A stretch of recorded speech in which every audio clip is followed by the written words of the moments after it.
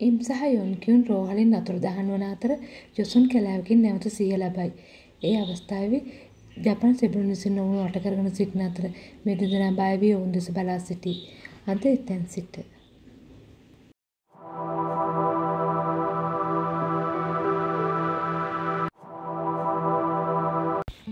ඉම් සොල්දාදුවන් වෙත වේදනානාශක ඉසින අතර යොන්කියුන් ඔවුන් සමග සටන් කරයි. මේ අතරතුර ඉම් තමාගේ මුහුණටම වේදනානාශක ඉස ගන්නා අතර ඇස් නොපෙනෙන නිසා ඔහු කෑ ගසයි. යොන්කියුන් ප්‍රහාරය නවත්වා ඉම්ම ගලවා ගැනීමට ඔවුන් දෙදෙනා වනාන්තරයට දිව යයි. කැරේ තුළට දිවගොස් නැවත යොසුන් පැමිණියේ කෙසේදැයි යොන්කියුන් ඉම්ගෙන් අසන අතර නැවතත් ඇය යොසුන් වෙත රැගෙන ආවේ යැයිද ඉම්ට බැනවදී. ඉම් පවසන්නේ ඇයව රැගෙන නොආ බවත් ඇය ඉන් පසු පසා බවත්ය. දැන් ඔවුන් සිටින්නේ හැන්නෙන් ආසන්නේ බව ඉම් කියයි.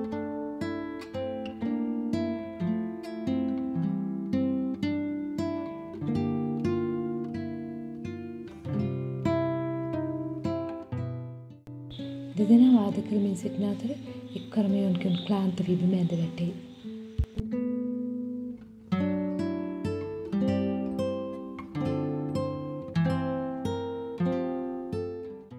මේ අතර සෝල්ලීදී කෝපයට පත් ජීහ පොලිස් ස්ථානයට කඩාවදී.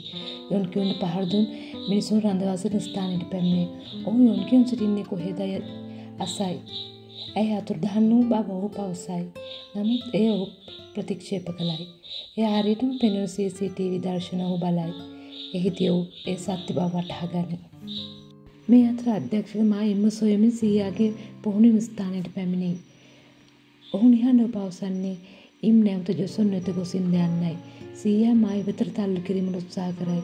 නමුත් ඔවුන් කියුන්ද ඉම සමග අතීතයට අතුරුදහන් නැති බව අධ්‍යක්ෂක මා පවසයි. යොන් කියුන්ද ඉම් සමග අතුරුදහන් වී ඇති බව පැවස විට සීයා කනස්සල්ලට පත්වෙයි.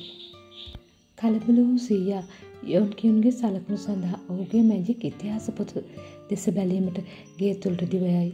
සියල්ලෝම ඉම් ඇයව රැගෙන යාම ගැන ශාප කරයි.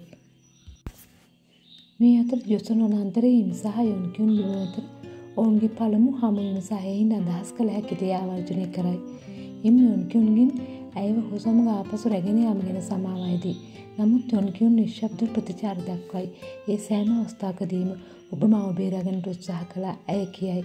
මේ අතරින් මෙසේද පවසයි. මෙම කාර්යයන් පවරා ඇත්තේ මන්දයි මට අදහසක් නැත. නමුත් මම එක දෙයක් දැනී මම මරණයට සූදානම් විට මම ජීවත් වෙමි. ඇයිදයි මට විශ්වාස නැත. නමුත් මම මිය යන විට මෙම ස්ථාන අතර මාරු වෙන බව මට විශ්වාසයි. ඒ වගේම මම මැරෙන හැම වෙලාවකම මම ඔයා ළඟ සිටින නිසා ඔයාට මා එක්ක යන්න සිද්ධ වුණා. ඔහු කියයි. මේ අතර තුවාල ලැබූ ජපන් සොල්දාදුවෙක් උදවිල්ලා ආයාචනා කරයි. නමුත් ඒ හානියක් කිරීමට දනුවමක් බව පවසන ප්‍රතික්ෂේප කරයි. යොන්කියුන් තර්ක කරන්නේ සොල්දාදුවා උදව් අවශ්‍ය රෝගියෙකු බවත් ඔහු සුව කිරීම ඔවුන්ගේ වගකීම බවත්ය. එයින් වැඩි හානියක් සිදුව හැකි අයිම් කියයි. නමුත් යොන්කියුන් තර්ක කරන්නේ ඒ වෛද්‍යවරුගේ රාජකාරිය නොවන බවයි. ඉන් ඈතට යයි. නමුත් ඔහුගේ ඇස්වල කඳුළු වලින් හෙළිවන්නේ ඔහු පෙන්න තරම් බලපෑම් ලක්ව නැති බවයි. යොන්කියුන් ජපන් ජාතිකයාට වෛද්‍ය ප්‍රතිකාර ලබා දෙයි. ඕනෑට වඩා ප්‍රශ්න වසන් ලෙස ඇය ඉන්ට අනතුරු අඟවයි.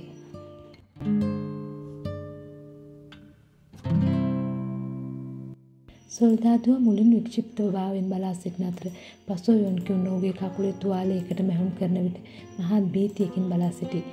සොල්දාදුවගේ තත්ත්වය බරපතල බැවින් ඉම්දු උපකාර කිරීම සඳහා සූදානම් වේ. සොල්දාදුවගේ කන පිටුපසට සහ පාදවලට කටු චිකිත්සක ප්‍රතිකාර කරයි. එවිට ඔහු තරමක් සොය ලැබෙන බවක් පෙනේ. ඔහුගේ කකුල චලනය කළ හැකි වෙයි. පසුව යමක් වෙනස් වී ඇති බව දැනමින් ව්‍යාකූලත්වයෙන් ඉම් ඔහුගේ ඉදිකට බෑගිරිස බලයි.